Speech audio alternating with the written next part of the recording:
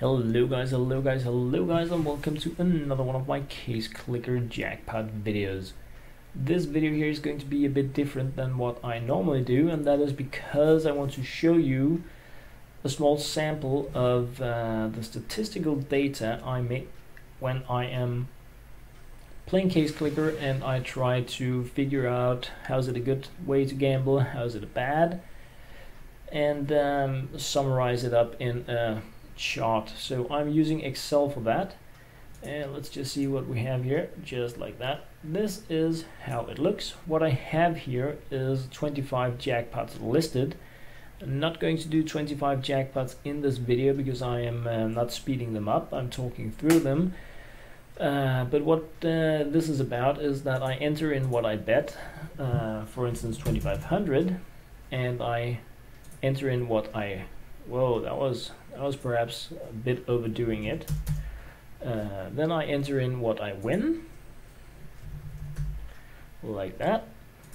And then the system updates my total staked, my total wins, but also my profit, because when you do win jackpots in Case Clicker, you kind of see your wins including what you bet, and I don't think that really counts as a real win uh, so like if you feel you just won 3,254 and you go in and you stake 3,000 and you lose, then you're not going to be in a profit. You're actually going to be down 2,246. Uh, so that is uh, one of the things I use when I uh, look at my jackpots and I try to figure out what is a good way to gamble, what is a bad. Then I use a spec sheet such as this to uh, to keep track of um, whether or not I have not only been lucky or in crap luck, but also am I making the right decisions. Um, normally, when I gamble, I aim for high end items more than I aim uh, to get account value. But sometimes I just aim for account value, and that is what I'm going to be showing you guys in this video, just a bit of a demonstration about. So let's dig into it really. So here we are. When I gamble for account value, let's just grab the freebie, I often do it in normal mode instead of above normal, and that is because the normal mode gives me a much better chance at overbidding uh, percentage and value wise. Um, so I do feel it is easier uh, to do it in normal mode than in above normal, even though you don't get as many crazy wins.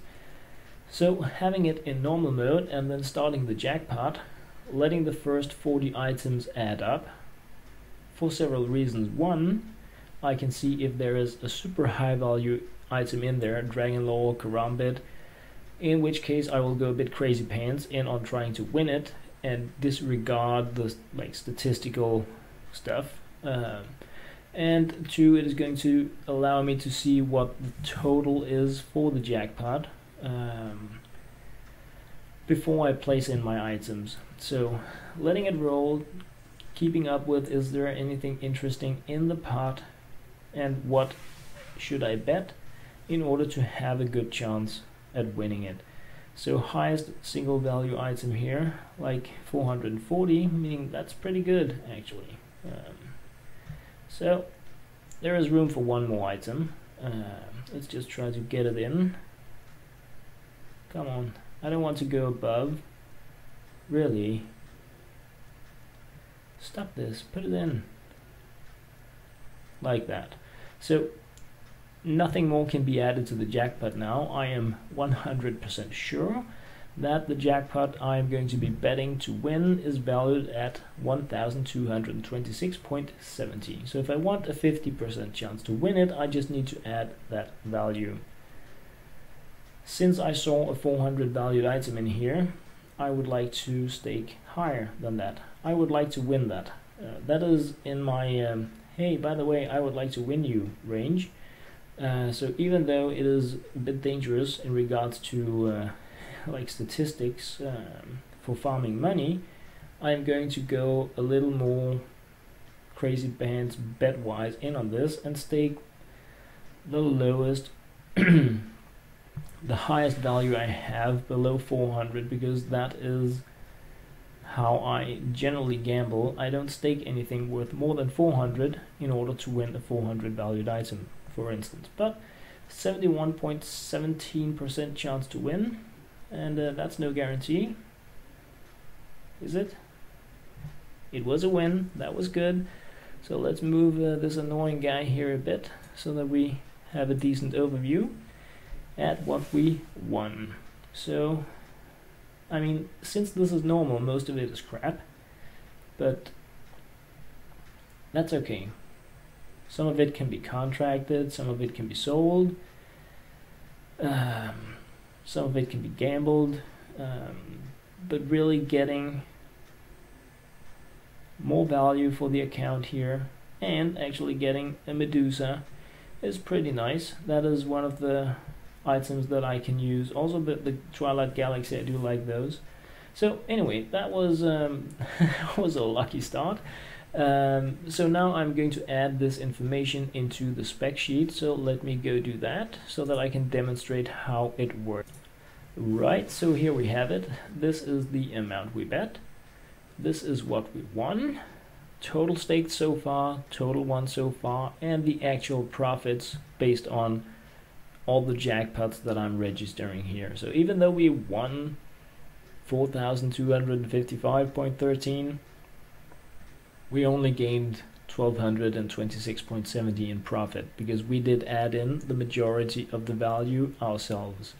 So that was the first uh, jackpot in the list. So let us move on from that.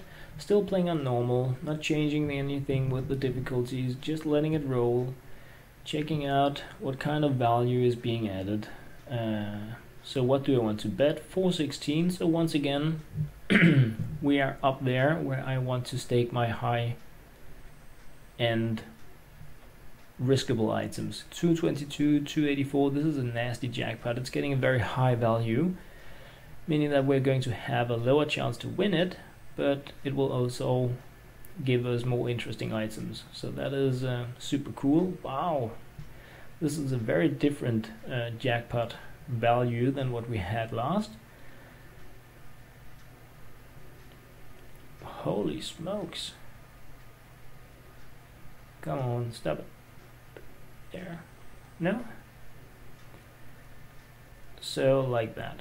So the total value of this pot is 2525.99. If I just wanted to win it at 50%, that is the value I would put in.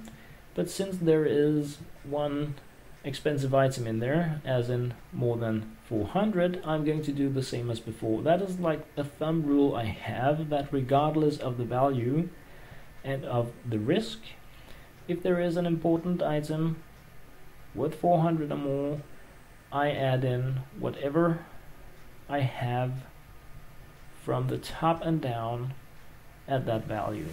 So let us see, uh, we're just about 50-50 on this one and uh, yeah, so this one was a loss. So that's of course a bummer, but let us add it in the list. So let me just check out what we had here. 3028.43, so that is the same amount. And this time we didn't win anything. So this changes our profit into a negative, even though one could think that we were in a win, but we are not. We have now lost value from our account, 1800 to be precise. So that is how the statistical system works out but um, it's only really fun when you have a lot of jackpots to work with. So uh, let's continue just a little bit more here in this video. Alrighty though.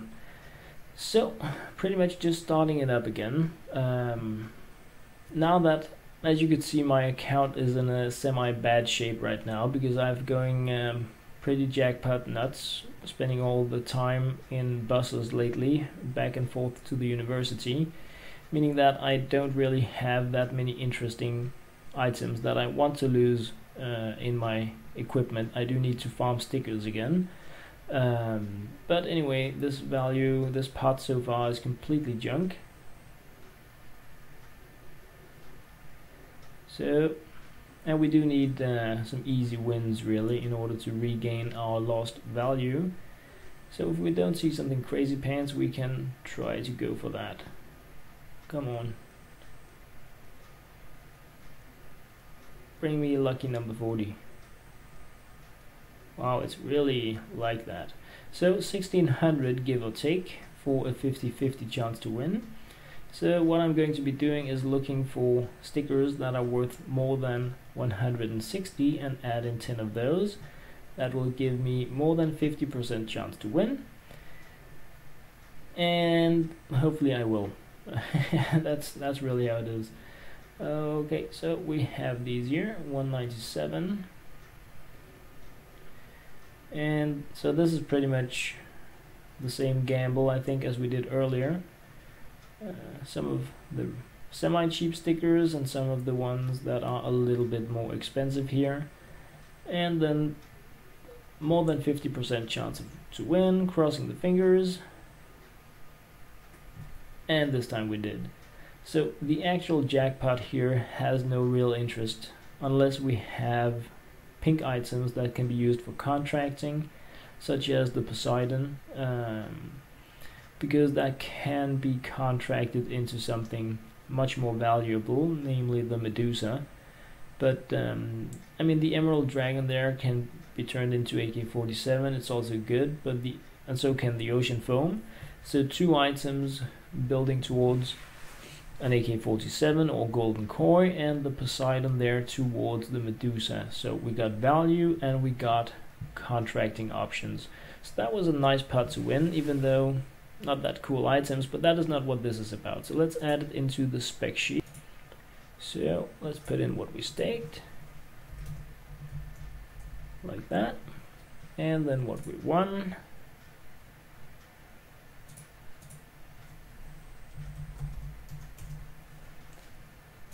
Like that.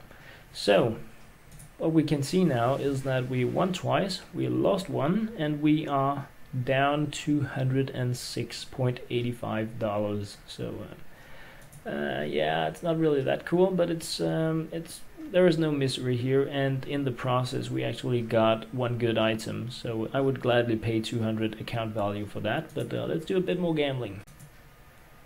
Oh goody, so back here in the iPad, not iPad, iPhone, and going for another jackpot. Checking out the values, deciding what to stake based on that. Getting a bit more interesting stuff now, and uh, yeah, I like that.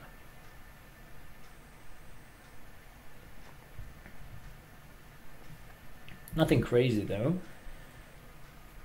And to be honest, when farming for account value, it is really nice not to see the super high valued items because you risk more and it makes it really hard for you to build up the value again. But we had one like good gambling item there worth 300 ish um, bringing the pot to a dangerous level uh, without having anything really cool in there for us to win. Oh it went over I was just tired of doing the start stuff stuff. But 1880. Um, but now we only have nine items to add in. So I'm going to go in with just these stickers. No, I don't have enough of them. Oh, okay. So same stuff. this is a bit more risky than what I wanted. Uh, but let's just do it. So less than 50% chance. Didn't I hit the start? But very close to 50. Let's see. Alrighty, so that was a boohoo one. So let's add it in. So right there. Getting it updated. It's not showing something positive and cool, but it is the real deal. Our most recent loss, nothing won, and we are 200 in loss. So sorry about that, my stomach haven't really gotten enough to eat due to all the university stuff, but um, yeah, let's move on to another jackpot. Righty, so just starting it up again. Come on.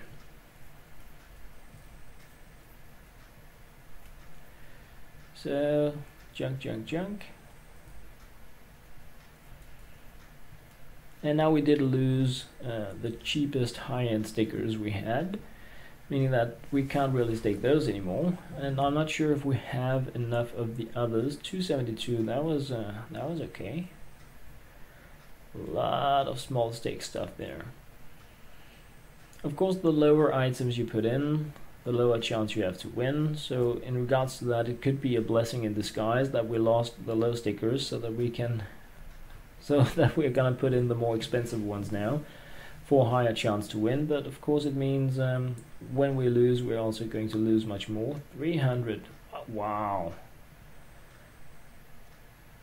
So let's just get the last one in here. I don't want to be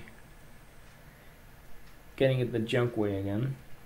Come on put it in just because sometimes it just ninjas in like three or four in a row and that's really not fun so here we have them. Put in 10 of these.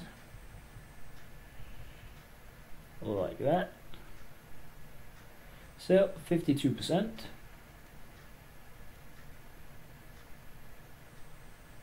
Oh goody! So that's nice, and I mean we're betting around the 50% area, so all else equal, we're gonna be winning one, losing one unless we do anything much different. Um, that's uh, like the math rule of 50%, that you win every second one. So, a doubler, mm -hmm. graphite, crafting option, not crafting, contracting. Nothing really interesting. Of course there is the Karambit here and the Titan. So these are now items we can use to bet when we see something valued at 400 or more. So that was pretty cool. Let us uh, get the spec sheet updated with it. So, oops. And get the wins.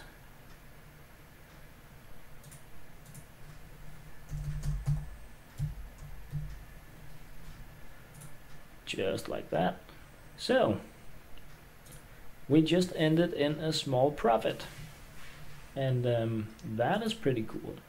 So this was um, this was a very very small demonstration of how my spec sheet works.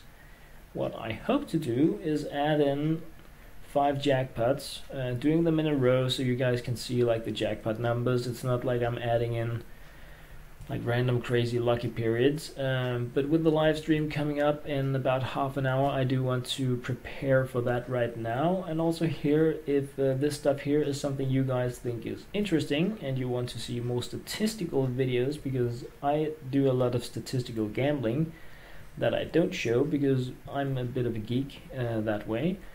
But if you guys think it's like completely sucky boring, of course I won't bore you with it. But um, this is just to show you guys another way to look at the game, to look at the statistics, to use something such as Excel to uh, organize your data and get a bit more input about is the things you're doing working in regards to account value, in regards to the items you want to aim for, contracting. There are so many ways you can make statistics. Um, some people love it. That's me. Other really hate it. Perhaps that's you. But uh, if you let me know, then I uh, will have a better chance at knowing if uh, this stuff is interesting for you to watch in the future. As always, guys, thank you very much for watching.